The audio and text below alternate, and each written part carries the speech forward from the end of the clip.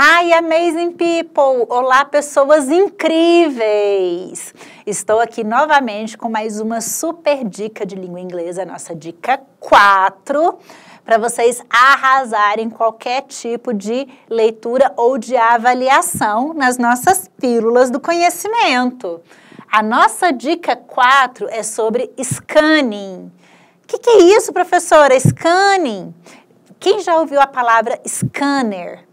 Que é aquele equipamento que serve para você escanear um documento, uma foto. A maioria dos nossos celulares hoje, com a câmera, ele faz esse serviço. O que, que é escanear? Ele verifica aquela imagem e reproduz. A técnica scanning é baseada nessa ideia. Então, o scanning, ele é uma estratégia de leitura que pode facilitar a sua vida ao ler as questões do Enem. Essa técnica ela vai consistir principalmente em você conseguir encontrar a informação que precisa no texto de maneira rápida e prática.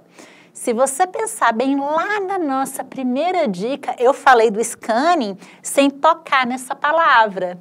Porque quando eu falo para vocês, procurem no texto as palavras que você já conhece. Procura no texto uma expressão que você já viu antes, circula, marca. Isso é a nossa técnica de scanning. Você faz aquela olhada geral no texto e vai marcando tudo que você conhece. A partir daí você tem uma ideia geral do que, que a questão quer de você. Então, procure no texto as palavras que estão presentes nas perguntas, faz parte dessa dica. Se na minha pergunta eu já tenho algumas palavras que me direcionam, onde essas palavras estão no texto, muito provavelmente eu vou achar o tema principal, eu vou achar aquilo que eu preciso.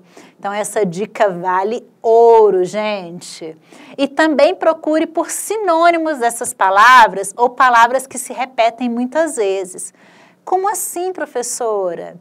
Às vezes, assim como no português, eu vou utilizar um sinônimo de uma palavra para ela não ficar repetida muitas vezes no texto. Maria comprou pão, Maria foi à feira, Maria fez. Eu não vou repetir Maria no texto todo, eu vou usar he, vou usar she, então, quando eu vejo pronomes se referindo a pessoas no meu texto, they are, que significa eles, eu vou ver lá no meu texto que já citou quem são eles.